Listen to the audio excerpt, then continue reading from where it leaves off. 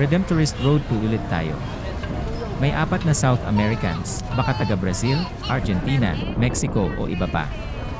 Nag-enjoy mamili sa baklaran na mura ang paninda talaga.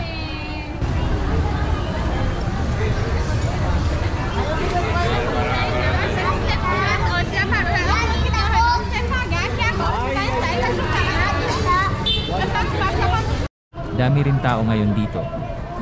Buti na rin may pulis sa area. Mukhang safe naman sana walang pickpockets. Sana dayuhin din ang baklaran.